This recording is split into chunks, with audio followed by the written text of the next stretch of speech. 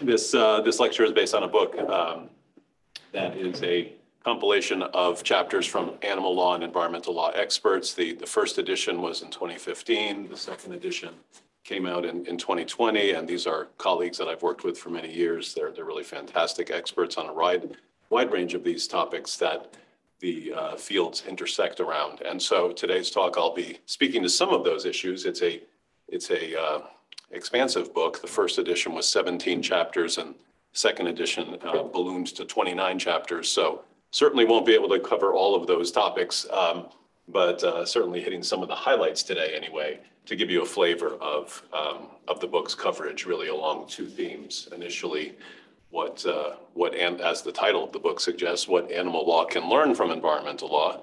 And I'll talk a bit about that. And then uh, more recently, of the focus of the second edition of how these two fields can and ought to work together more effectively. Um, so I'll briefly take you through the, uh, the evolution of that book concept and, and my role in the animal law field. I'm a, I'm a latecomer. I, I really have devoted my full career to environmental law and that's three decades worth. And the last decade, uh, animal law has been added into that mix, which has really been really exciting for, for what I do uh, in my teaching and, and, um, and writing on these two fields. Um, so I'll take you through a comparative evolution of these two movements, just how different they are, even though they share a lot of uh, similar goals and, and, and challenges. Uh, environmental law is much more uh, advanced. Uh, it's the senior of the two movements and has enjoyed more success in the, in the legal system compared to animal law. So animal law does have some lessons to learn from environmental law, but uh, there are also many opportunities for collaboration between these two fields. I'll give you a couple of examples there and, and close out with some very current issues uh, that are focuses, uh, focus areas for some of the new chapters in the second edition that um, in the in the food law space in particular, uh, with deceptive advertising and uh, lab-grown meat. And then, of course, would love to hear your your questions and comments. so this slide just talks you through this kind of process for me coming into animal law uh, as a career environmental law professor. I was asked to teach animal law for the first time at uh, Florida A&M Law School, where I was teaching at the time in 2014. And uh, coming into animal law, um, it, there, there was a lot to learn, uh, but also uh, a lot of what I had done was relevant to animal law. Um, I tell my students that animal law is one of the best bar review courses in disguise. It's, it's so expansive, it covers so many different areas of the law. And certainly my background from torts and constitutional law and environmental law were all really relevant to, to dive into an animal law um, course for the first time. So what I learned though in, in preparing that book and teaching that course was these lessons that I'm about to share with you, how, how environmental law as the more senior of these two movements really uh, has some valuable lessons for animal law and how there's absolutely a lot of common ground where these fields can work together. Um, and you may not know, but really both movements have their own divides within them as well, which, which sometimes interferes with this opportunity for collaboration. Um, the animal welfare and animal rights sides of animal law don't always see eye to eye. And uh, likewise within environmental law, there's some parts of that field that have different priorities and, and strategies, whether it be pollution control or natural resources or energy. They're, they're different land use. They're all different pieces of a larger whole that's often called environmental law, and they're not always on the same page either. So you think about it from, from uh, the standpoint of history, um, there's been a very different trajectory here for environmental law compared to animal law. And, and that's really the foundation, um, unfortunately, that um, explains how environmental law was able to be much more successful. Uh, and that is really summarized by the understanding that much of what environmental law represents is protecting humans. Uh, even though it's called environmental law, many people think of environmental law as being all about the environment. Uh, it really is about protecting ourselves from our pollution of the environment. So when you look at uh, how our federal environmental law system was launched in the 1970s, uh, it was based on this recognition of the pollution we were causing to our environment And it wasn't about this awakening about how we needed to protect environmental resources because they had intrinsic value. It was about how we were endangering our own health and safety as humans from the way we were polluting the environment. So whether that be the uh, air pollution, the Clean Air Act, motivated by how bad the smog had become in, in Los Angeles as, as one of many examples of how air pollution was getting out of hand, how a river caught fire in Ohio, how was that was part of motivating um, uh, force behind the Clean Water Act. All of these around 1970, which was the Earth Day movement, really gaining a lot of attention for the need to be a better steward of the planet as we continue to advance economically and industrially. And then the, the hazardous waste uh, debacle in, in Love Canal, upstate New York, motivating our hazardous waste um, site law called CERCLA. So all of these laws that, that really came onto the scene, ironically, under a Republican administration, many of them, the Nixon administration was the uh, administration in charge when all of these federal environmental laws were launched and Congress was actually not dysfunctional back then the way it is now. So what's important to remember is that all of these laws were motivated by science that was telling us about the human health and welfare concerns that pollution was causing to us. And that's why it was able to gain the political traction to get those laws in place on such a, a, a uh, rapid uh, basis.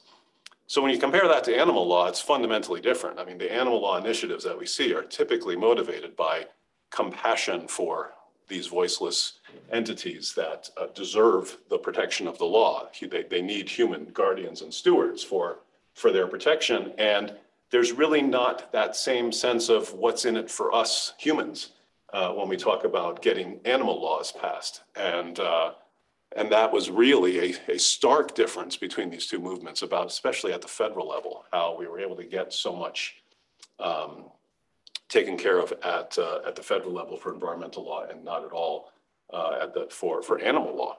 Uh, for environmental law enjoying the success, animal law not. So that translates into politics too, because when you, when you need that political will um, to get something passed, it's much more likely to get passed if there's human health and safety concerns, much less so if it's animals as different from humans as the, the foundation for why we're uh, establishing the law.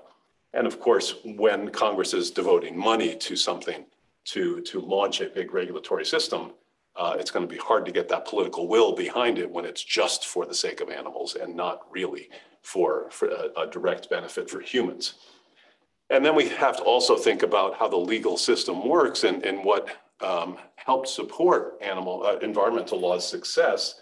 First of all, we're talking about federal law. And the reason why there was this mandate for a massive explosion of federal environmental law was because the recognition that environmental laws are fundamentally transboundary in nature. So, so prior to the 1970s, we had these, these little state fiefdoms, really, of regulating environmental problems in different ways on a state by state basis, not fully uh, addressing the reality that environmental problems don't stay in one place, that, that we really do need a federal response to environmental problems to be effective. Air pollution moves, uh, water pollution moves, species move. Um, so that and the science that was driving environmental law, both of which uh, really helped support that, that massive explosion of, of federal environmental law that we saw.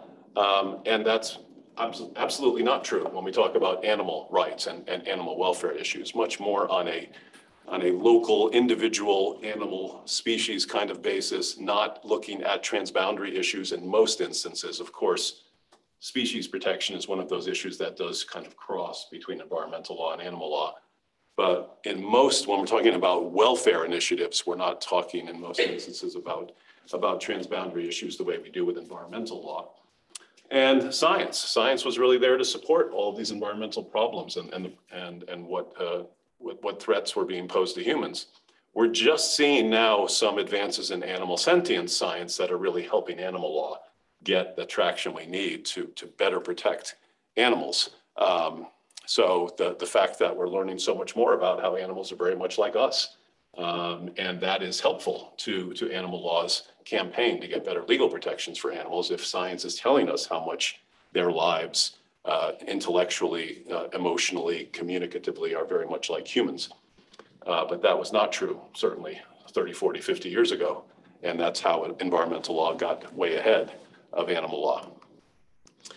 So uh, way back when environmental law was very much in its infancy prior to the 1900s uh, and, and into the early 1900s, we did have that sense of stewardship for environment. Um, so uh, protecting wilderness areas, uh, developing our national park system, we, we recognized how there is something intrinsically valuable about nature and we ought to have our laws get out there and protect nature for its own sake. Um, it's valuable for nature, it's valuable to us as humans. But then, you know, big 50 years or more passes and the pollution control era was launched in the 1970s. That's our second box here. And that is something that is um, an era we're still living in, really. The vast majority of our laws are premised on that notion of pollution control uh, for environmental law protection. And it's only recently, really the past decade or so, that we've seen this launch of an, an environmental rights movement. So, so the rights of nature movement is, is quite uh, significant now, and that's really very much in its infancy still, but gaining traction. Um, and, and that's also happening around the world, perhaps on a, on a faster basis than it is in the US. So there have been some efforts in the US, but not, uh, not succeeding as readily as we've seen in other countries on environmental rights issues. We're also seeing that in the climate justice movement, a lot of rights-based theories being advanced in the courts now in the US and around the world. So if you look at that compared to the evolution of animal law, very different trajectory to consider. And this is really more, um, again, on that individual species focus, uh, that animal law driven by compassion as a focus. So anti-cruelty laws, uh, just you know, less than a decade ago now, maybe, uh, the 50th state had um, uh, anti-cruelty protections put in place. So now all 50 states have some version of largely misdemeanor, but a growing body of felony um, protections uh, regarding anti-cruelty. Um, and so that's okay, that's a start, but it's nothing to cheer about when you think about how much that doesn't reach when we want to protect animals of all kinds. So when you think about anti-cruelty protections, they're largely about protecting companion animals. This is the, the, the focus of anti-cruelty laws. Um, so there's a big part of the animal kingdom that is not getting the protection it deserves when we talk about anti-cruelty, animals in agriculture, animals in research and so forth, animals in entertainment. Um, so, and, and the other reality about anti-cruelty that's important to remember is that it's subject to prosecutorial discretion. So anti-cruelty laws are being enforced by criminal prosecutors that are also handling cases involving murder and rape and so forth. And so even when an anti-cruelty violation is detected and reported, the likelihood that it's going to ultimately be prosecuted is far from a guarantee. And it's also very difficult to detect these violations in the first instance. Uh, so a lot of this cruelty happens behind closed doors and it's not something that's easy to detect. And so you've got really two barriers about whether these anti-cruelty laws are as effective as we'd like them to be. Um, and then uh, when you think about federal and international protections, there, there's virtually nothing. I mean, we, we have three, three federal uh, animal laws and they're, they're, they're, they're worth very little, um, very ineffective. Um, one of them is oxymoronically called the Humane Methods of Slaughter Act. And so basically you're, you've got a law that's designed to proceed from the assumption that Animals are being raised for the sole purpose of being eaten. And when they are slaughtered, the only way the law is protecting them is to make sure that they're rendered insensible to pain before they get slaughtered. And even that is not enforced very well. So that is hardly a, a measure of protection that's worth cheering about when you think about all the other ways in which animals are, are abused in that process of, of being raised and ultimately slaughtered and transported as well. The, the, the 28 hour law provides, you know, that, that, that there be, you know, food and water available when you're being transported by truck for more than a day. Um, so these are, these are very minimal protections at the federal level. It's really state law that's doing what we do see for animal law. Uh, the, the, the good for animals is happening almost exclusively at the, at the state level for animal protections. Uh, internationally, we have another barrier, which is sovereignty of nations and cultural distinctions. So it's very easy for us to have a robust set of international environmental laws because of the transboundary principle again. We've got lots of international environmental treaties because we share this planet with all the other nations and we have that shared interest collectively in addressing these environmental problems that span uh, beyond national borders. But with animals, we've got different cultural uh, attitudes towards animals and how we, we engage with animals country by country. So it's very difficult to get global level animal protections in place like we see with environmental issues. Uh, nonetheless, we do see an animal rights movement that's gaining a lot of traction now, even though those first two boxes have not been nearly as successful as the evolution of environmental law. There's a lot of uh, engagement now on animal rights uh, litigation um, in the US and around the world on a variety of very creative theories that we'll talk about briefly today. So when we look at environmental law, there's some things that environmental law does very well that animal law can learn from and, and, and benefit from. So I'll just provide these two examples about information, access and dissemination, and standing and personhood. So it's important to remember that environmental laws, federal environmental laws are premised on this idea that information is what drives the ability for the laws to work well. So when you think about how a, a uh, regulated entity under the Clean Water Act is subject to the law, they are required under the Clean Water Act, for instance, to provide discharge monitoring, monitoring reports that are public information. So basically, they hold a permit that has certain limitations, and they are required to disclose whether they are meeting those limitations of their permit or if they're exceeding the limitations. And that is public access, publicly accessible knowledge that public interest groups can then go in and sue for violations of the permit terms and ultimately enforce the act quite, quite readily.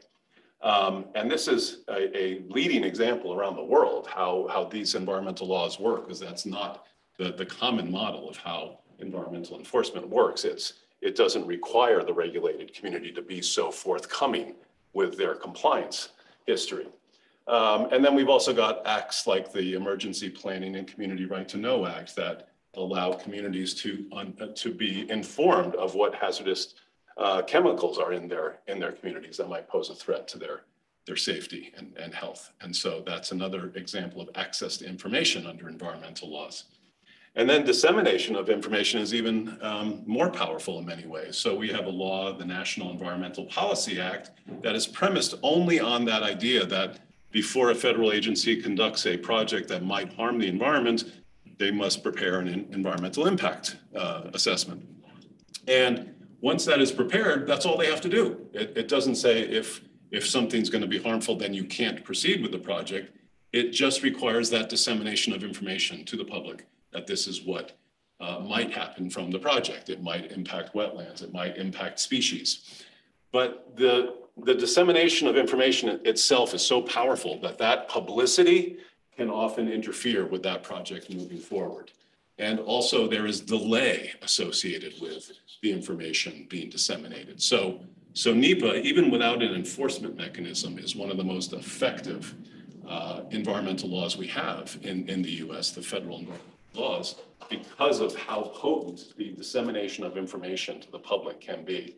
That when that does reach the public, it often is followed by threats of lawsuits, uh, by statutes that do have enforcement mechanisms. Uh, and there's often such a delay that when a project is proposed under one presidential administration, it might, you might witness the passage of one administration to the next, and then that project will get defunded and it won't happen. So delay is a really big friend of environmental advocates as well, publicity and delay. So compare this to the animal law legacy and we see something fundamentally different. So um, essentially, we have a bad situation that's made even worse by something known as ag-gag laws. So animal advocates do not have the benefit of what's happening in factory farms being disclosed to the public and therefore having the information they need to enforce uh, uh, based on that disclosure. That doesn't work that way at all. They are essentially operating behind closed doors. The same is true of animal research um, facilities. And basically, there are undercover investigations that occur that try to access information that is not required to be disclosed. And so then we have this added barrier with these laws known as ag-gag laws that are trying to thwart that effort to conduct undercover investigations of, of these facilities to get information that isn't otherwise required by law. And fortunately, those laws are being struck down uh, on, on, constitutional grounds, First Amendment grounds. Um, they're essentially criminalizing the, the, the, desire to access information that is not being provided to the public. Um, but it's a stark contrast when you see the environmental laws are designed with information being provided and when you look at how factory farms and medical, and medical research facilities that conduct experiments on animals operate, it's all about protecting their ability to operate behind closed doors. And that is obviously a huge problem for, for animal protection. Um, so certainly there are uh, ways of just getting information to the public that can help drive down demand for things that are harmful to animals. So labeling is, is a huge strategy there. So um, there is um, so much opportunity for the public to make more informed choices when they have information that wasn't otherwise provided. And I always give the example of um, some fast food restaurants and uh, donut shops decided to put the calories on the menus of the items they were serving. And that had a significant influence on my choices of what I was going to have with my coffee. I didn't need a dinner's worth of calories with my with my cup of coffee. Uh, and so just providing that information can have a, an immense impact on choices. And we don't have that when it comes to animal products. In fact, we have a lot of disinformation campaigns about choices we make with respect to food that ultimately have negative impacts on animals. So I grew up with the with the disinformation campaigns about steak is what's for dinner and milk does a body good, all of this messaging that was partially subsidized by the government, um, created this sense of I'm doing good by making these choices that I don't really have the information I need to decide is this really what I should be eating if I care about animals, if I care about the environment. Um, so there is some talk now about getting labels that would be good for the environment, good for animals, related to our concern about climate change. So there, there could be carbon footprint labels on meat packages. If, if this is something that would be a way of getting information to the public about certainly um, your choices about what you eat have an impact on the environment and just a label that talks about carbon footprint of different products would be useful to the public. Of course, it'd be more useful if there were just horrific images of factory farms on the meat packages, but we're not going to get there anytime soon. Um, so then we've got standing as if you're concerned about something as a public interest advocate, you want to get into the courts. Um, and the environmental movement has had much more success here.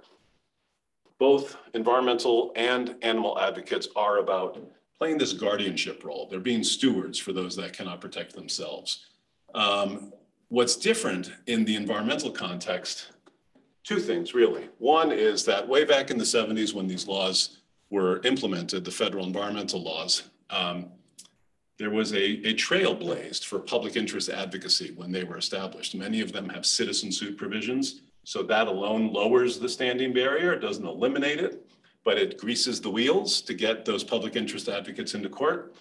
Um, we also have a reality that what it means to be injured is very different in environmental law compared to animal law. So injury under environmental law was read quite expansively in those early cases, 70s and 80s to include um, recreational interests. As an environmental advocate, if you're a hiker or canoeer, um, uh, a fisher, um, that's one way to allege that an environmental project is harming you personally. You, you have been injured. Uh, conservational interests as well, if you're, if you're an advocate for forest protection or river conservation. Um, anesthetics, also recognized as an injury to environmental advocates if a project is just threatening a beautiful viewscape that you enjoy. Um, on the animal side, that's very different. You have to show that somehow you are personally harmed by a threat to an animal. And that's very difficult uh, for, for animal advocates. There are very limited exceptions to that to secure standing. that I won't go into today, but that, that landscape is, is a stark difference when, when you think about the ability of environmental advocates to get into court to argue about what they care about versus animal advocates. Uh, and so we're also looking at fundamentally different landscapes in terms of the government's role. So we have an environmental protection agency. The environmental protection agency is essentially a steward for protection of the environment, a government steward that is ultimately enforcing laws that are meant to protect against environmental harm. We certainly don't have an animal protection agency.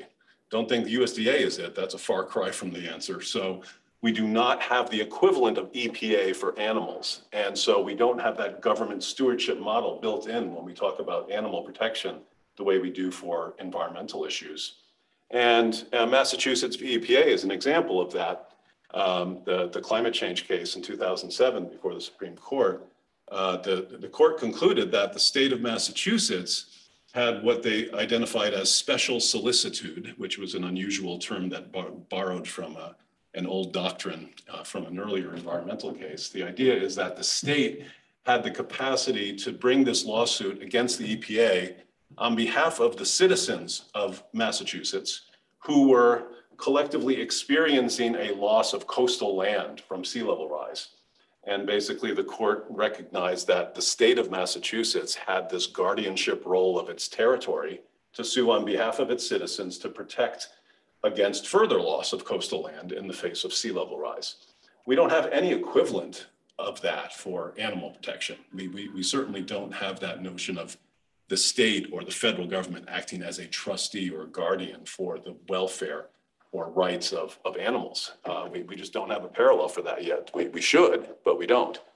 Uh, and this relates to personhood as well. One, one thing that is a head scratcher, as this um, suggests in the photo, that we, we the law recognizes that um, you don't have to be a human being to be protected with legal personhood. Legal personhood is really just about who matters, what matters under the law. So corporations enjoy legal personhood, ships enjoy legal personhood. There's uh, a lot of movement now for artificial intelligence to be recognized with legal personhood. I just saw an article about the, you know, the chat GPT uh, and, and had the concept, the implications for legal personhood recognition there. Um, and as you'll see shortly, even natural resources around the world are being um, conferred with legal personhood. Um, and so all of these non-human entities getting legal personhood, and yet animals do not. Uh, it doesn't make a whole lot of sense when you think about the parallels between animals and humans, how they're really just part of the same spectrum and how the law is so reluctant to confer legal personhood uh, to, to animals. And in part, that's a reflection of our relationship as humans with animals, that, that animals are used for our benefit. They're part of our food system, our entertainment system, our medical research system. And so there's always this implicit fear that conferring legal personhood to animals is going to cause chaos to our society, that, that we're going to be living in a Planet of the Apes film or something, that, that it's just going to turn the, the, the, the sense of what human society is uh, into disarray if we recognize legal personhood for animals, which is ridiculous. Um, because it's first important to understand that conferring legal personhood to animals does not mean they're going to have a right to vote and a right to marry. It's, it's about a limited set of protections like the freedom from confinement and torture really that, that would be conferred with a, a legal personhood protection for animals. And it would be a different class of rights than what, uh, what humans enjoy.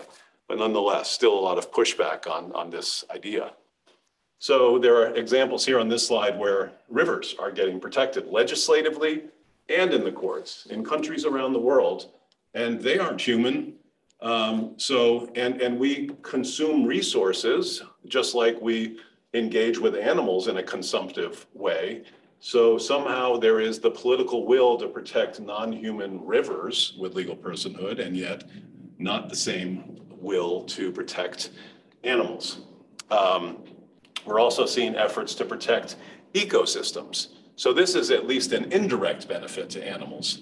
If we get ecosystem personhood, then we're embracing what's included in the ecosystem. That would be the resources and the, the wildlife uh, and, and certainly the humans that, that enjoy that ecosystem. It's a, it's a more inclusive way of using legal personhood.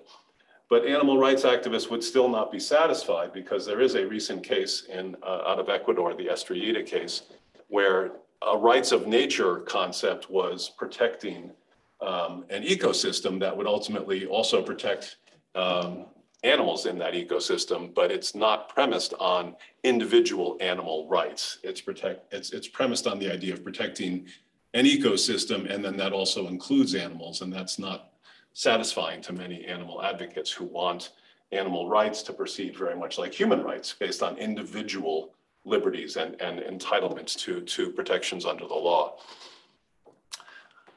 So this is just a reinforcement of the idea of what legal personhood means. A lot of the strategic litigation that we're seeing from, from the animal rights community is about testing what the word person means in given contexts. So habeas corpus, for instance, protects persons who are wrongfully detained and, and worthy of being released.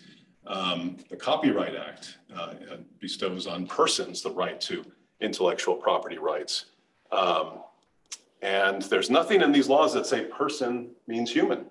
And so these cases are trying to test what we really mean when we say person. Is it limited to humans? There's, there's this implicit assumption that person means humans, but why, why do we assume that? If the statute doesn't say, or the, the, the doctrine doesn't say it's limited to humans, why, why would it be? Um, so courts have to weigh in and confirm that it's supposed to be limited to humans, even though in many cases they're wrong.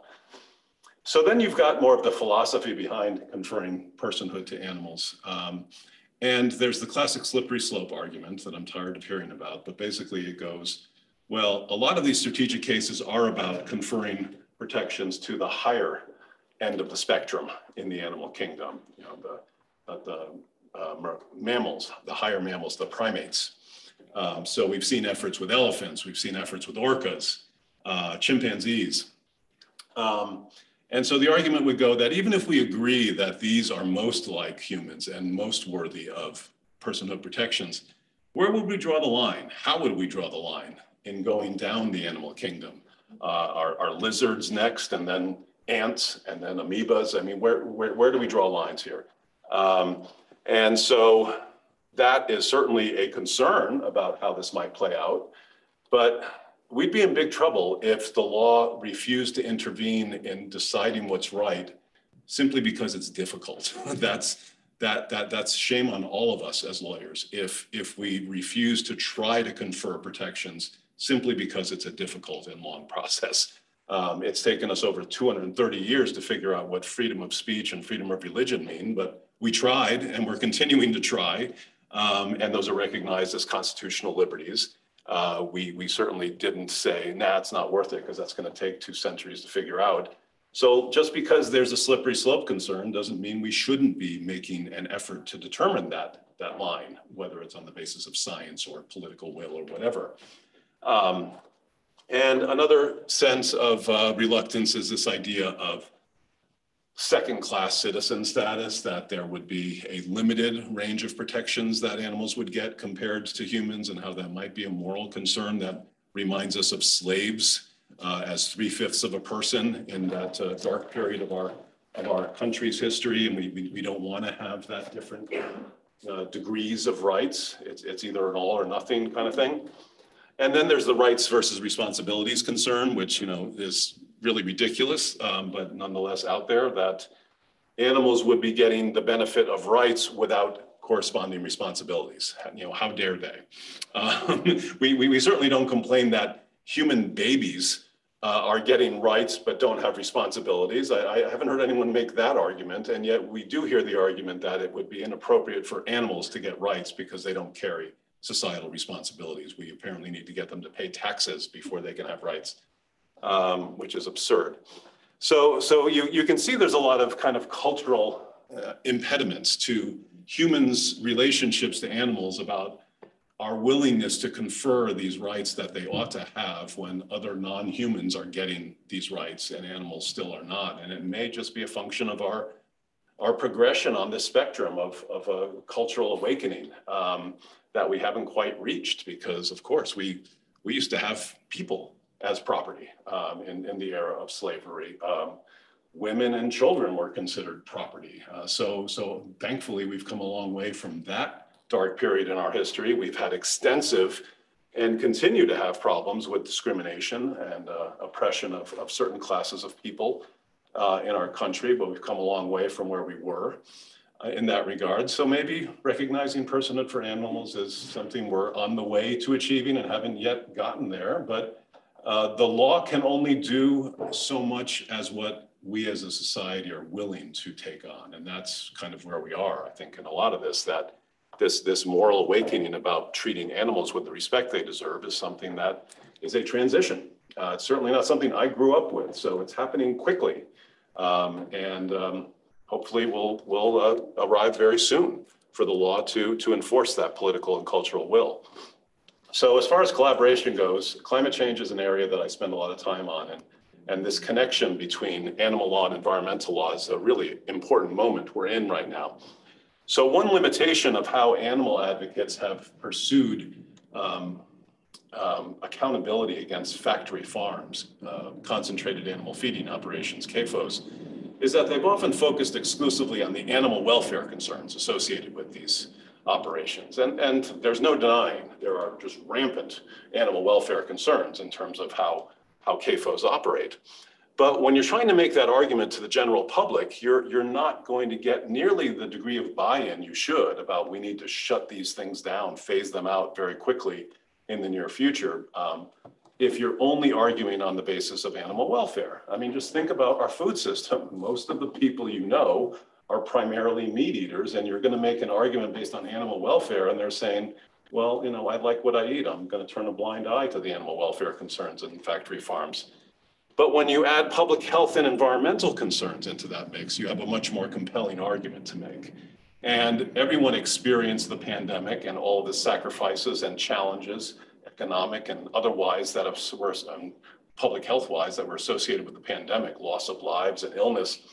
And when we think about how CAFOs are very much the leading reason why we are likely going to see the next pandemic if we don't get a handle on phasing out factory farms, that's a much more compelling argument than just talking about the animal welfare concerns. Not, not to diminish the animal welfare concerns, but again, the way environmental law connected things to us, animal law can do that as well when we talk about factory farms. Connect factory farms to a threat to your health as a human being, and you're going to get a lot more attention.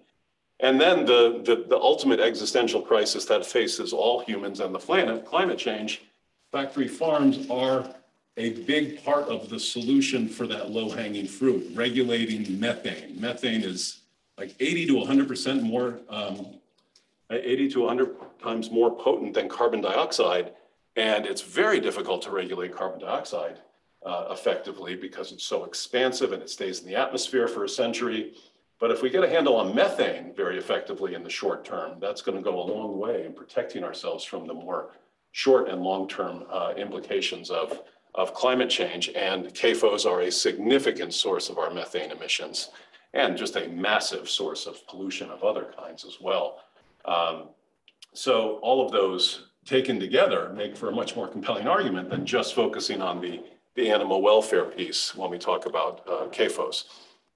And then you, you, it's important to remind both movements that they are fundamentally about stewardship for the voiceless. Whether you're an animal advocate or an environmental advocate, you are about protecting others who are not human, whether it be rivers or animals. Um, and there are a lot of strategies that are common to these fields when we're talking about protecting in, in this guardianship, stewardship kind of way, um, whether it be animal or environmental resources, and how the, the legal strategies have a lot of commonalities. So there are certainly um, legal doctrines that talk about that stewardship idea. Um, so we've talked about how, how legal personhood can be one of those, how legal personhood for ecosystems is one way to be a guardian for a, uh, both animal and environmental concerns. Um, there's also that idea of um, the creativity and persistence that goes along with these creative theories. So I'm starting to see more um, of these collaborations between animal and environmental public interest groups now uh, in the past five years or so because they have very similar toolkits in how they do their strategic creative litigation uh, campaigns. And it makes sense that a lot of them do align um, on, on, animal and environmental um, principles um, to, to go after factory farms, to, to go after other entities that are simultaneously threatening environmental and animal interests. And there needs to be more of that, that partnering because there's a lot to learn from each other's playbooks that's common to both movements' uh, objectives. And just to, to close, I want to give you two case studies. Um, the first, that's actually the subject of an, a CLE tomorrow that I'm going to be speaking at, that, that's looking at this evolution of the private sector's deception of the public. When we've developed a more conscientious consuming public, greenwashing developed, trying to convince people that what they were buying or engaging in was going to be environmentally friendly when in fact it really isn't. And then greenwashing paved a way for humane washing. Um, and that was one, an example, for instance, of the idea of humanely raised chickens, how that was just a way to dupe the public into being, uh, thinking they were making a more informed choice about something that was more animal welfare protective, when in fact it was just a way to charge more for the same production processes uh, for, for chickens. And, and that was an example of one of many examples of humane washing. And now we're seeing the latest version of this called climate washing, and this is essentially both governments and the private sector telling us, trying to convince us that they're very much on track to get us toward net zero by 2050. How, how things that are very much like the status quo are somehow being labeled clean and renewable. Um, you've got companies saying that liquefied natural gas is clean and renewable. Uh, you're getting airlines telling us that they're engaging in off carbon offsets and therefore flying with us is, is a, a form of, of sustainable transportation. Um, all three of these efforts are very much trying to exploit a conscientious public with disinformation that will enable the private sector and the governments to keep doing things that are very much like the status quo. So certainly animal and environmental interests are aligning along these um, efforts to confront these tactics. And that's exactly why this CLE tomorrow and here in Chicago is talking about all three, greenwashing, humane washing, climate washing, and how there's um, a need to, to pool resources against these tactics that continue to go on more than ever. Um, so lab-grown meat is another example of how these two movements intersect. Um, so in an ideal world, we would never need lab-grown meat. In an ideal world, we would transition from factory farms to plant-based, and that's as far as we would need to go. But we're dealing with humans. Humans are fundamentally defective and they are not going to embrace plant-based food options after being ingrained in a factory farm uh, diet. So the reality is that the intermediate step of getting to a vegan future would be lab grown meat because taste wise, the argument is it's indistinguishable from traditional meat. And that's how you're going to get the, the factory farm meat eaters on board with something that is more environmentally sustainable and more animal protective than our, our status quo. Um, but the challenge with lab grown meat is that it's not a perfect solution. First of all, there's some animal rights advocates who are concerned that lab grown meat is derived from animal cells. So it's not exclusively animal friendly. And it's perpetuating a paradigm that doesn't have to exist why do we have to eat animals of any kind, whether it's just cells or the whole thing? It's perpetuating an, an, an inappropriate paradigm that we should be able to get away from, ideally. Um, and it's also a source of environmental pollution. If, if you're talking about lab grown meat facilities, they themselves are sources of greenhouse gas emissions. So it's, it's clearly not a perfect solution for environmental or animal advocates. Plant based foods are much, much better for both communities. Um, but because they don't replicate the, the demand of factory farm meat eaters, we may need that intermediate step to lab grown meat to, to get to uh, fully away from um, reliance on CAFOs. So Cory Booker, a vegan, has already reintroduced legislation that is looking to phase out factory farms over the, the near term in the next few decades. Don't expect that to pass by next week, but at least we're having these conversations and ultimately we are on that path. And it's a question of being strategic about what's going to get us down that path most effectively. You know, if we hold out for the perfect solution, we might not progress at all. So, so there are very strident animal activists that do embrace lab-grown meat as something we, we have to embrace if, if we want to get to that, that, that, that vegan future of, of protecting animals and the planet as, as effectively as we need to. Um, so I wanted to leave you with that, and I welcome your questions and comments. Thanks for your attention.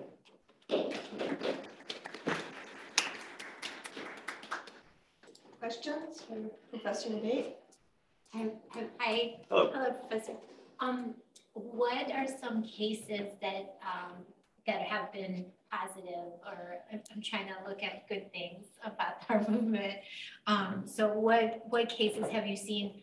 Um, I know, I understand that the non-human rights project, I mean, they, they haven't gotten any, I, I don't know of any good decisions. Um, Well, well, they haven't technically won a case, but they've certainly made a lot of progress in terms of surviving a motion to dismiss, getting very good language out of the New York Court of Appeals, so mhm. making fantastic progress, but it is a, it's a process. Yeah, what about other, like, have there been other, any, any good law? Any good law for the animals as far as like these creative arguments? Oh, there certainly have been. I, I think what's, you know, the challenge is this underlying resistance to, to legal personhood. Um, So, so ALDF, uh, we have a, a uh, litigation fellow in the room here for, from ALDF, Michael Shastara, and ALDF is doing some fantastic work, and, and one of the cases that comes to mind in- involves Justice the Horse, uh, this idea of a, a lawsuit uh, by a horse uh, against its owner for the um, abuse and neglect that, that caused significant harm to the horse. And of course, it turns on that idea of if the horse does have legal personhood to be able to sue on its own behalf against its owner. I mean, of course, that has significant implications for our relationship to animals on, on many fronts, you know, that's, uh, again, that sort of planet of the apes reality that a lot of people start to worry about, that if we, we recognize the ability of a horse to sue its owner for, for abuse and neglect, then, then what does that mean if you forget to feed your cat tomorrow? I mean, it, it- there's, there's a lot to overcome about our assumptions about how animals interface with humans and humans being in control even cracking that door a bit when you've got an egregious example of harm that needs to be addressed by the law through medical uh, expenses and, and attention to, to justice the horse, you know, it's that same slippery slope concern. So, so that, that's been remarkable in, in, in how far that case has, has gone. And, um, and, and there's certainly efforts um, in, in raising the awareness about about um, the entitlement of animals to legal personhood that have not yet gotten that, you know, clear victory, uh, whether it's whether it's ALDF or PETA or, or other organizations. It, it is about continuing to push that envelope and raise the awareness and and influence the legal decision making until ultimately something will will stick.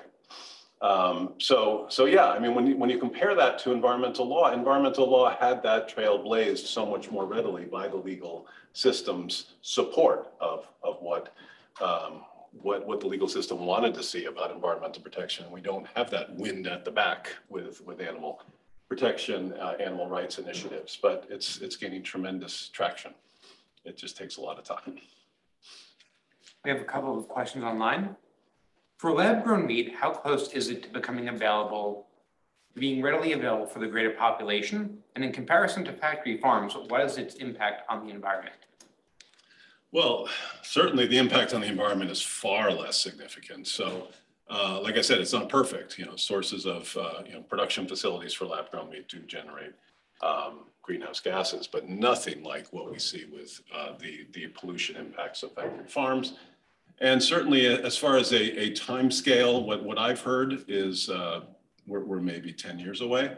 I hope it's sooner than that. Um, it, there, there's been some some movement in Singapore, I believe, in, in rolling it out on a limited basis. But uh, I'm, I'm hopeful. And a lot of this is about political will. It's important to understand that. So uh, when, when you've got initiatives like what Cory Booker um, introduced and, and efforts to even Biden's administration through executive order to diminish the amount of subsidies that are going to harmful activities. So, so in, in the Biden executive order, it was targeting initially fossil fuel industry and how, how we want to diminish the amount of uh, subsidies that the fossil fuel industry gets. And certainly very much related to that, we want to diminish the subsidies to, to animal, uh, industrial animal agriculture. So to the extent that those efforts move as quickly as they ought to, and a lot is going to turn on who's elected president in 2024 and, and who's appointed in Congress, um, elected in Congress. But the, uh, we're moving in that direction regardless. The, the market is going to take us there, but not nearly as fast as getting the right wind at our backs with uh, the appropriate uh, government uh, support and incentives. So, so we're already seeing that with the Inflation Reduction Act, how much money went into that to support a faster transition along clean and renewable energy path than just waiting for the market to do it. Another question from online. What are some of the unique challenges and potential solutions we face on the ocean front as polar ice melts? International law seems weaker than domestic law. International cooperation also seems to be deteriorating at the worst possible time. On- uh, In protecting the oceans was the first part of the question. Yes. Well, I mean, I, I think the best uh, source of inspiration on that front is just last weekend, the um, Biodiversity Beyond National Jurisdictions uh, Treaty was, uh, was, was finalized after, you know, two decades of, of talk. I think that's a great source of hope for international diplomacy in, in protecting the environment and particularly the oceans in this case. And we've also got a, uh, a global treaty on plastics in the works, and part of which is going to do great things for the, for the marine environment if that is ultimately uh, finalized. There's a lot of good progress there. Um, but I certainly think that at the domestic level, we, we have a lot of tools that are, in many ways, more immediate, more potent than what international law can do in, in many ways. And so we need to see more efforts on marine protected areas uh, through uh, federal and state law. And uh, that, that's something that is, is moving slowly, needs to speed up a bit. Um, and, and certainly more uh, ambitious listing and enforcement of protected species. Uh, so, so there's, there's uh, some, some successes there, but a lot more work to do under the Endangered Species Act, the Marine Mammal Protection Act, uh, again, kind of an intersection of, of environmental and animal uh, protection efforts there in the marine environment. Um, and, um, but, but one example where environmental and animal um, initiatives don't align as well as one would hope is with invasive species. So we've seen a lot of battles between the environmental and animal movement on, on this front. And an example would be in, the Everglades, for instance, you've got this um, invasive species, the, uh, the, the, the python that, that was just, you know, released either accidentally or deliberately and now is taking over the Everglades. And, you know, an environmental uh, view of, of addressing that problem is essentially exterminating this intruder because it's taking over a, a delicate and important ecosystem. Uh, whereas the, the animal law advocates approach is to humanely remove each and every one of those pythons to a to an environment where it can thrive. Uh, and so those two approaches are, are very difficult to reconcile uh, when you're facing a common threat with two very different ways of, of confronting the threat. Um, and, and, certainly there, there are some kind of middle grounds. So for instance, when there, I believe it was even in Chicago, there, there was a major, a major concern with a rat infestation and, and the typical approach to to taking care of rat problems is extermination, but instead it was a sterilization approach that was taken, which was much more animal friendly. Um, that, that you're not just exterminating the rats, you're just preventing them from reproducing and getting a, uh, a handle on the problem without being as much of a uh, in um, you know, violation of, of, of the species' right to, to live. So, you know, there are ways where those two sides can come together a little bit, but they're often very much in conflict. I have a lot of questions. Um, in your previous slide, you were talking about anti-cruelty law protections, uh, federal, international protections. And you mentioned there were three federal laws. I'm assuming one is Endangered Species Act, and you did mention Humane Methods of Slaughter Act. What's the third one? No, so it, the, the Endangered Species Act would not be on that list. So that, that Oh. is an environmental law. Uh, it certainly has some related benefits for, for, for animal protection, but the, the, the three federal animal laws would be the Animal Welfare Act, Oh, okay. uh, the Humane Methods of Slaughter Act, and the twenty-four hour law, uh, twenty-eight hour law, which is about transportation of, of- of Oh, animals, I, see. so the. Endangered Species Act is under environmental law. Yes. Okay. yes. Although there are some creative ways animal advocates have been trying to use uh, the Endangered Species Act for animals in captivity, but it's uh, essentially an environmental law. So the um, animal protection law, the third one is twenty-eight hour law, Yes. said? So, so that, that, that's a very limited protection of animals that are being transported for slaughter. And then I missed the third, I what, didn't see the third category, like, so you had the anti-cruelty law protections, federal, international protections in the middle, and then, Then, then it was animal rights. So, Oh, so, so that, rights. so that third category does parallel the environmental rights as the third category in that previous slide. So even though we've got very different evolutions of the two movements, they're now in a similar space. They're both focusing on rights-based efforts to get more ambitious protections for environment and animals. And, uh, and on that front, environmental law is doing better uh, so far, except in the US. and then finally, I just wanted to say, um, or ask, um, wouldn't you, don't you think that um, the law being of such a conservative, um, venue space, um, that we really, I mean, these, all these efforts are great, but we really need like a grassroots, uh, international animal rights movement to push the law, because the law is so like always the last Yeah. to move. I agree. So, so I, I really think that, you know, I, I say this a lot in other talks that the litigation efforts are not about winning one case at a time. They're really a- about building a, a movement that, that ultimately trickles through society and can influence legislative initiatives. So, so when you look at all of the climate justice litigation that's been brought in the US over the past decade or more, most of those cases lost in court. But it built a movement of climate justice awareness in communities around the country that helped us, I believe, get the influence on politicians to pass the Inflation Reduction Act that we saw last fall. I, I really doubt that there would have been the political will for that law to be passed without that consciousness raising, raising that happened with all of those efforts to, to use the court system, even though most of them were not winning.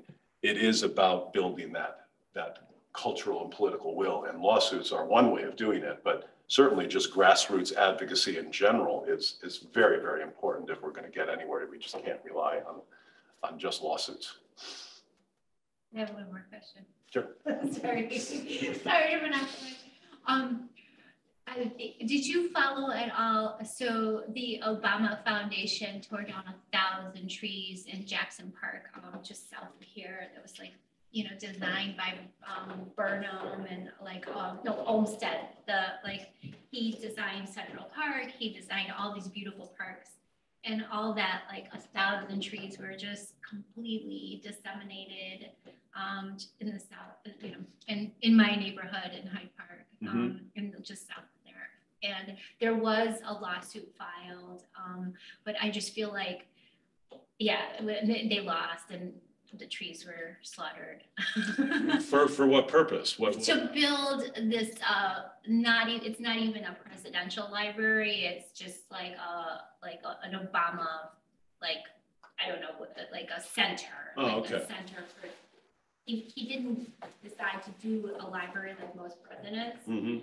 uh, because he didn't wanna, I don't know, give up certain papers or something to it, but, um, yeah, it's, a- it's a, center, and then they have to build, it's like just an environmental disaster, like the thousand trees were, sh- were, were just torn down, and this, you know, beautiful park that was opened for everybody, you know, to go to, um, was just, and it's gonna be like this concrete structure, and because public transportation is not really accessible there, the city is building like a garage, a parking garage, so it's just, it was a total nightmare, and I just feel like, oh, if maybe we had better litigation, and like more theories were advanced in the Mhm. lawsuit, like.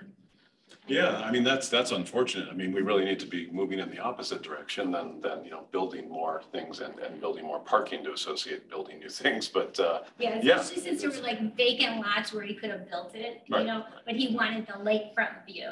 Right, yeah, I mean, there, there are just a lot of local land use politics that go into something like that, and, uh, you know, it's, it's, it's really not, not so much related to environmental and animal advocacy so much as, you know, political and economic power, and what that'll get you, and I think that's really the- probably the story there. Um, but yeah, there, there's, uh, when you think about concrete jungles, uh, one, one thing that I've been wanting to do at more of a grassroots level is have some kind of initiative that, similar to what we saw with rails to trails, um, you know, that, that you've got existing infrastructure that's no longer used, and turn it into parks and bike trails. I, I would love to see an initiative where that converts just about every mall built in the seventies and eighties that is just like abandoned these days. Let's convert all of that to parkland. I mean, because concrete is awful for climate change. Uh, adaptation mitigation concerns and they're they're they're just everywhere. I mean, just amazing. It's going to be an absolute wasteland of old malls that are no longer used over the next 10, 20 years. And just converting all of those to uh, to parks would be an amazing uh, step forward for habitat restoration and climate change and everything and community building to make those parks. If you could project hundred years into the future where we're not eating meat, we don't use animals in circuses, um, we don't have factory farms, et cetera. We don't have horses drawing carriages around Central Park. Where are the animals and what are they doing? Yeah, I mean, that's, to me, putting the clock forward that way is similar to putting it back, you know, and, and I, I have a slide in another one of my presentations where, you know, what, what we've lived with and have grown up with is such a speck on the time scale of the planet. So, so there's these two slides I have that are a metaphorical calendar year and humans aren't even on the scene until New Year's Eve. I mean, in terms of the history of the planet. So basically what I see is the future of the planet with, you know, animals and, and their ability to uh, thrive on the planet is really where we were before the Industrial Revolution. That, that they, animals were certainly used in terms of the, the agrarian revolution. They were used to, to support uh, agriculture in, in a much more limited way than what they are now, of course, with factory farms. And so there, there, there's always going to be some human control over animals, but not nearly to the degree that we've seen over the past hundred or so years. Um, and, and that's something we just have to get out of the habit of now that we've got the technology and the, the moral awakening about how it's inappropriate and how there are alternative ways to, to live comfortably and not exploit the environment and animals. It's just a matter of letting go of that old paradigm. And it's going to be very much like where we were before we decided we had to do everything on this grand scale and, and exploit animals at every stage of the process to, to be more comfortable as humans. I, I think we're, we're just at a point where we're going to have all of those alternatives. Think about animal testing. I mean, we, we now have alternatives to achieve the results that reliance on animals was necessary for, and now we can do it on non-animal uh, subjects that are essentially going to get us away from that, that reliance. And the similar thing with, with our food system. I mean, it's just a matter of getting to a point where animals are not that indispensable source of, of exploitation for us to have the comfort we want as humans. So I really think it's going to be a, a, a slower than it should evolution, but certainly uh, in the next 50 years, a very different place than we are right now. Another question from online. Are we getting closer to having all animals free from battery cages such as chickens and pigs? Europe has banned these, but why haven't we? Well, I mean, we're certainly seeing pro- uh, progress on, on a state level with this in the US. Um, it's, it's much slower than it should be. And again, it is about political and cultural will. Um, so for instance, Florida was, was a, a leader in, in banning these uh, gestation crates for pigs, um, gestation farrowing crates, and ultimately um, they were able to do that because Florida doesn't have many pork uh, producing facilities. So, you know, okay, it's better than nothing, but it's not a big victory. And so I think uh, to the extent you've got a, a heavy reliance on, on those kinds of methods of doing things that are cheap and, and, and entrenched, uh, you're certainly not going to see Arkansas be a leader on, on any of those uh, uh, animal welfare measures. But I, I think it's, it's certainly at least getting out to those areas where it's less essential to economic security and, and the old way of doing things. So uh, yes, Europe is absolutely ahead of us on this, um, and on animal welfare and animal rights on many levels. So I think there's uh, there's a lot of work to do as animal advocates, and I think a lot of good work is, is happening on those fronts. And a follow up to that, how can I get involved and keep up with knowing the law regarding this issue of being the uh, battery cage? Well, I think a lot of the leading animal NGOs are, are doing great work on that. So I, I think subscribing to those, those newsletters of uh, organizations like ALDF and uh, Humane Society and um, uh, I, I believe um, maybe the Animal Welfare Institute. Certainly, uh, online, there's all kinds of access to national animal NGOs that are actively involved in this, that, that want people to at least follow their work, if not support it in, in every way they can. So um, that's, uh, thanks to the internet, pretty easily uh, obtainable information. And they're, they're great about keeping people informed of their, their victories and their efforts. Another online question. The One Health concept seems to tie animal health and environmental.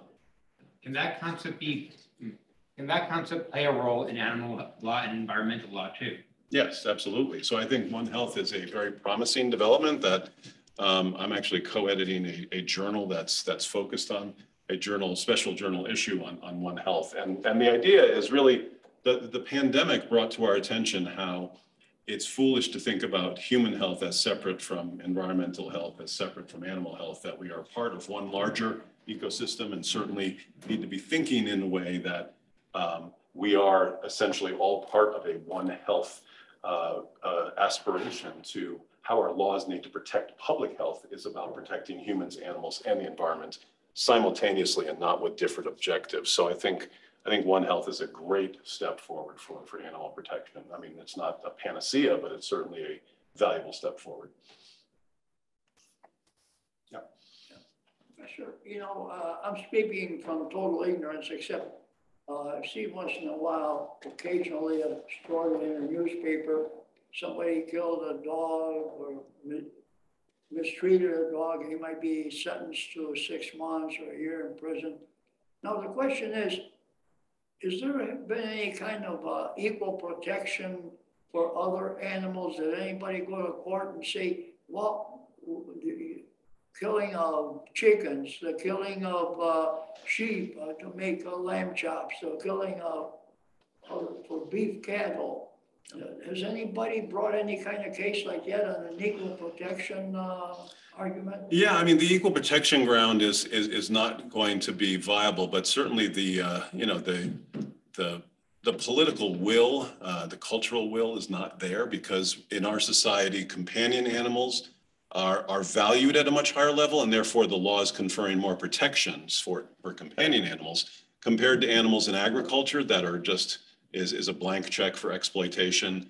Compared to animals that are considered uh, vermin or pests, they ultimately don't get any legal protection either, even though all of them are, are living, breathing, in many cases, sentient beings. Um, the- it's very difficult to get the law to protect something that the societal will is not behind. So as long as we're treating uh, animals in agriculture as expendable and, and uh, animals we perceive to be pests as expendable, they're, they're never going to get the protection that the law affords to companion animals because they are so valued by, by, the, the- by the human companions that, uh, that, that own those animals. So there, there have been some cases where, you know, other than companion animals have, have gotten some traction in, in the courts to, uh, to, to get some protection. We talked earlier about a, a case involving a horse uh, suing its owner for, for abuse and neglect.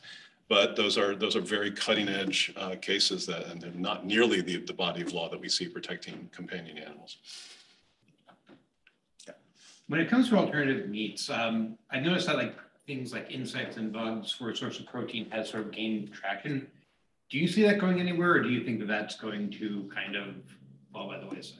Well, I mean, I think there's some place for it. I, I, I think again, ultimately, it comes down to people's willingness to, to um, go away from the status quo. So, so ultimately, it is about taste. If there's a way for that source of protein to, to be as satisfying taste-wise as traditional factory farm meat, then I see hope for it. But my sense is that it's, it's not going to reach that level. And so you're not going to see steak lovers transitioning to bugs as their source of protein anytime soon. I just think there's not going to be that that you know substitution factor about taste and satisfaction. And so I think that's one source of uh, a way away from factory farms, but it's going to be hard to do without that lab grown meat piece because that is the true substitute. So I'm told, uh, taste wise satisfaction wise.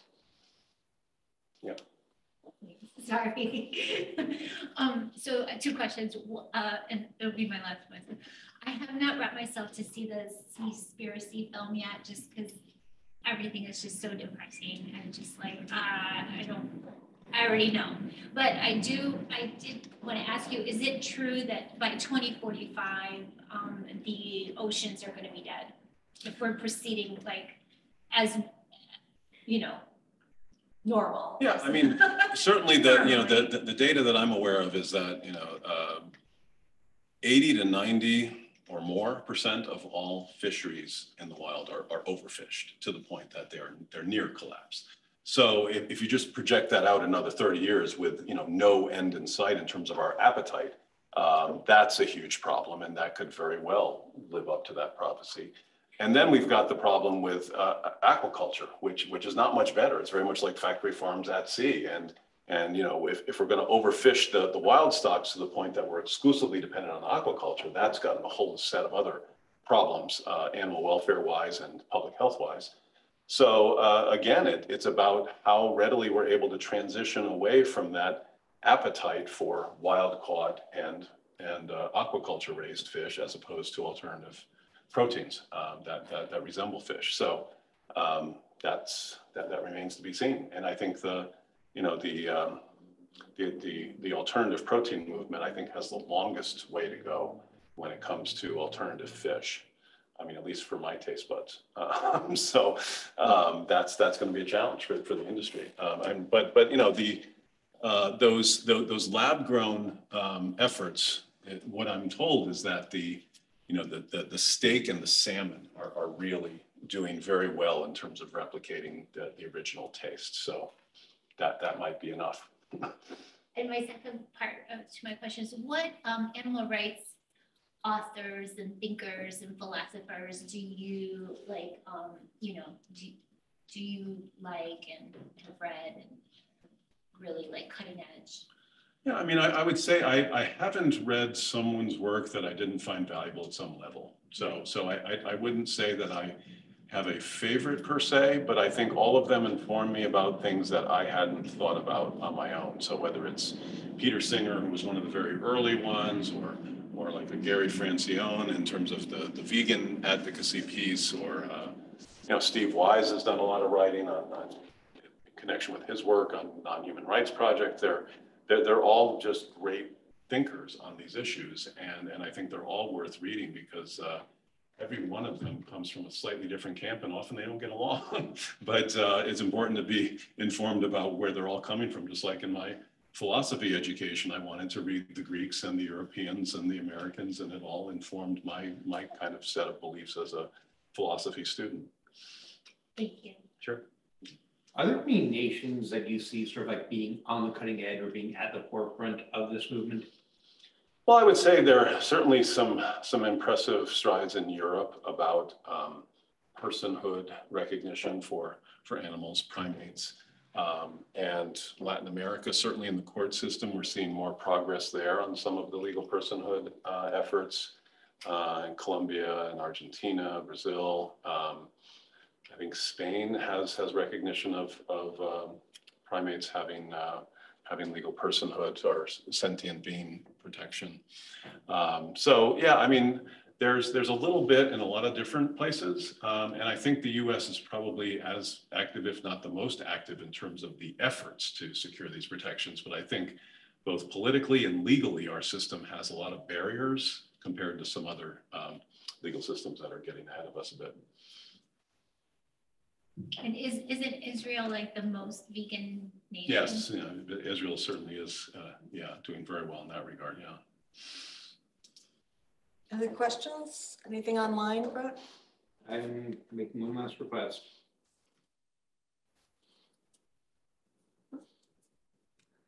Um, I have a question. Uh, I'm often asked how- why animal law when there's so many other pressing needs?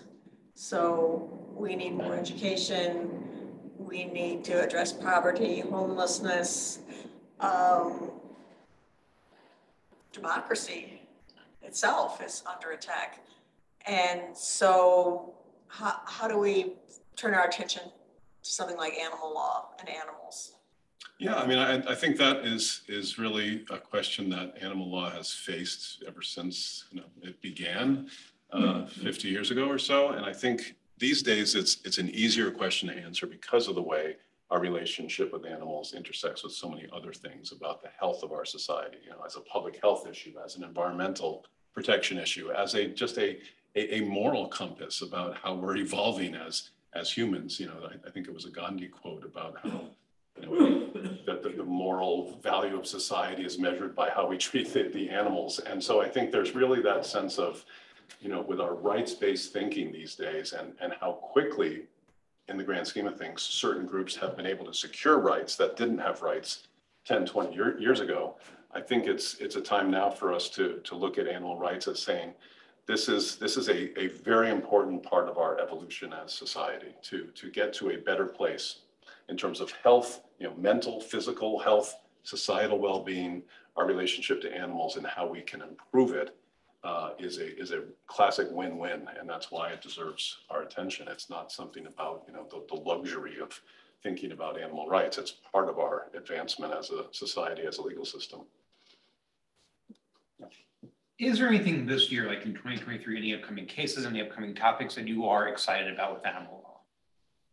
Well, uh, there, there's certainly a lot of strategic litigation going on that uh, I, I'd love to, to observe and too many to mention really, but all of the major NGOs have, have cases going on that's, that's, that are really important. I mean, one that's close to my heart is the, uh, is the dormant commerce case involving the, um, uh, the, the, California law and the effect of, of having a, a moral objection to, to production processes and that impact on national commerce flow.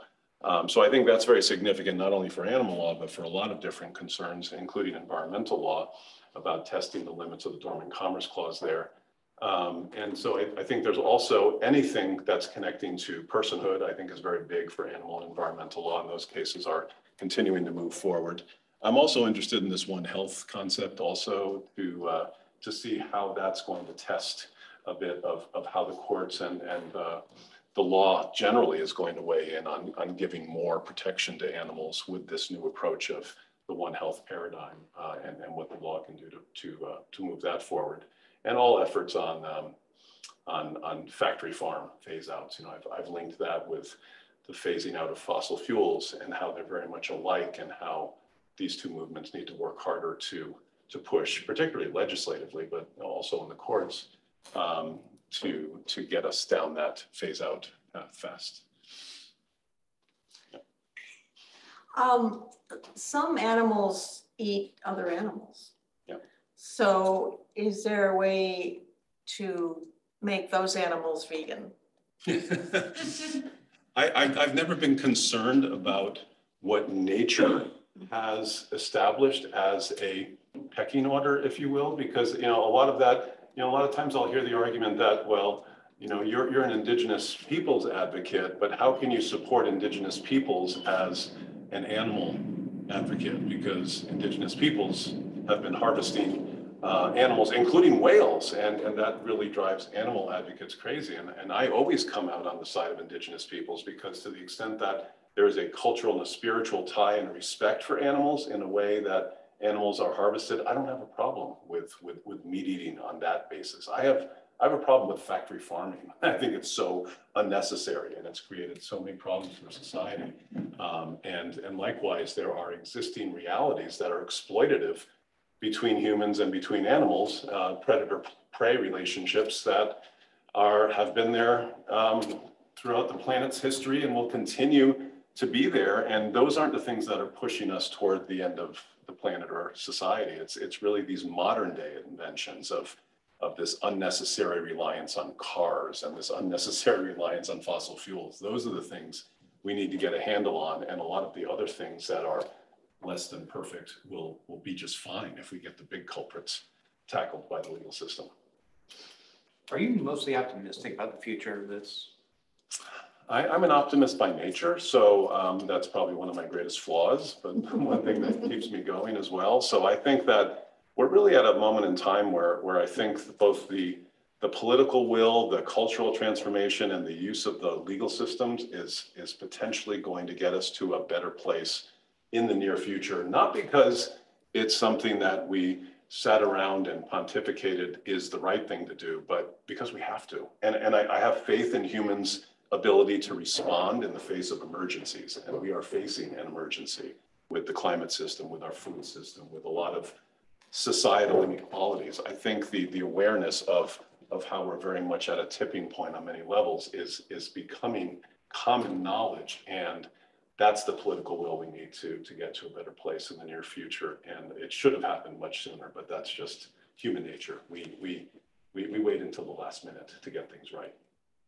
I think we have time for one more question. Go ahead. Look, you can go. I have asked a lot. Rebecca, this is irrelevant, but the best semester I ever had in college was in Washington DC. American University has a program every spring semester. Mhm. Actually, uh, I read the paper, our Mayor Lightfoot, she partook in that also. I was there in nineteen fifty-nine when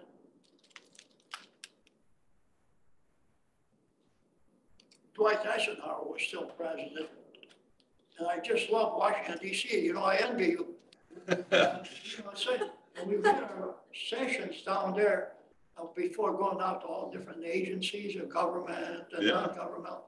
And uh, your neighborhood there at George Washington, I, they had the, uh, so, the Washington semester Mm -hmm, hmm program. Yeah, that's still Do going, you yeah. still have it there in Yeah. your neighborhood there? Yeah, I, I I taught at an undergrad university that participated in that program. Still going strong, yeah. Yeah, I envy you. It's uh, such a beautiful place to It be. really is. It's a wonderful place to, to live and to work. Absolutely.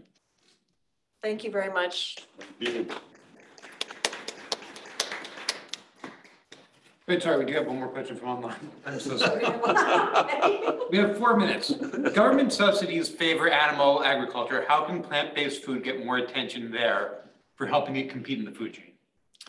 Yeah, that's, that's really where, where we need to be advocating our, our elected representatives. So um, in, in Canada, as, as a source of hope, there was a, um, uh, at least federal financing for a plant-based food facility, I, I believe in, um, uh, it was either British Columbia or one of the western provinces. But, but I think that that's something that, that's perhaps the first step, that, that if, if we've got so much government subsidies and government support through financing for other activities that are not nearly as good for society as they transition to plant-based food, that's where I think a lot of the legislative advocacy of the animal uh, protection movement needs to be focused on, because that can get change to happen a lot faster than traditional litigation only.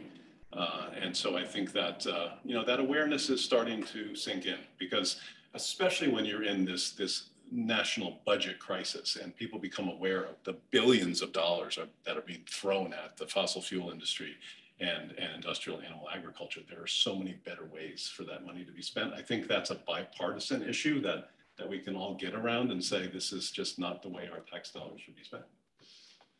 Do you know if things like the new Green Deal movement have had, have any focus on this or are they focused on other things? Yeah, I mean, I, I think there's some space there in the, in the, you know, the Green New Deal approach. It's very intersectional. And so the idea is that really it's capitalism is, is the, is, is the core problem of, of a lot of the challenges we're facing, whether it's environmental or, or animal exploitation wise. And so I think there's a way for environment and animal um, advocates to work around that idea, that work together on that idea, uh, idea that moving away from our traditional capitalism is going to get us to a better place for the planet and for, for animals and for um, disproportionately burdened groups. Uh, So it's, uh, climate change isn't an environmental issue, it's a societal issue, and exploitation of animals is, is absolutely a societal issue that, that can be paired in a lot of the political transformation we need to see to protect vulnerable uh, communities of all kinds.